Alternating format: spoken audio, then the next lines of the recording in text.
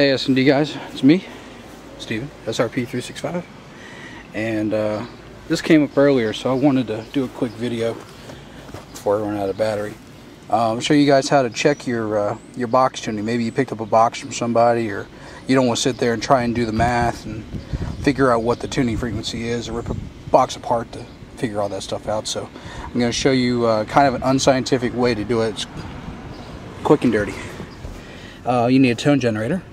So we have this one here in uh, my Android phone.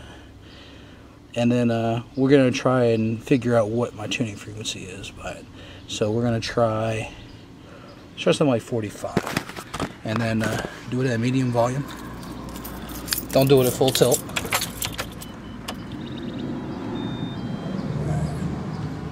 We'll try about half volume. Here. There we go.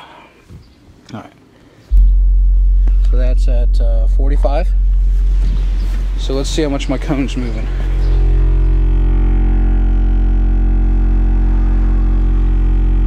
You can see a fair bit of flex there. Let's see more, more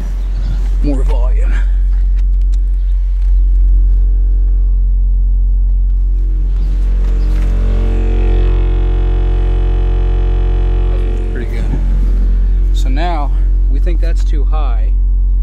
Let's try dialing this down to something like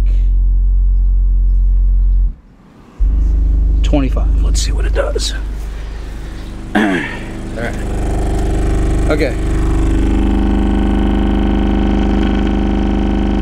Yeah, so it moves to 25. So that's probably too low. So let's try somewhere right in the middle.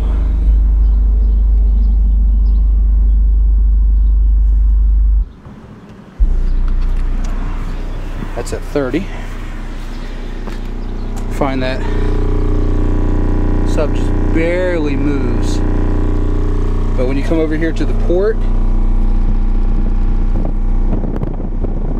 hand, you can see that almost all your volume is really coming out of your port.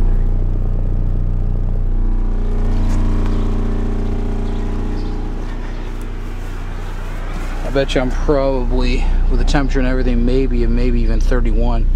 Let's try 29 and see how that sounds.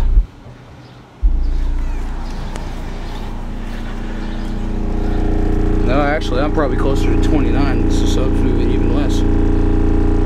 I calculated this box out to be tuned at about 30. But it's actually just a little bit lower. Yeah, there's even more moving out of that port. Alright, so that's a quick tutorial on uh, how to figure your tuning frequency. And uh, try a little 21 just for fun. Oh yeah he's moving.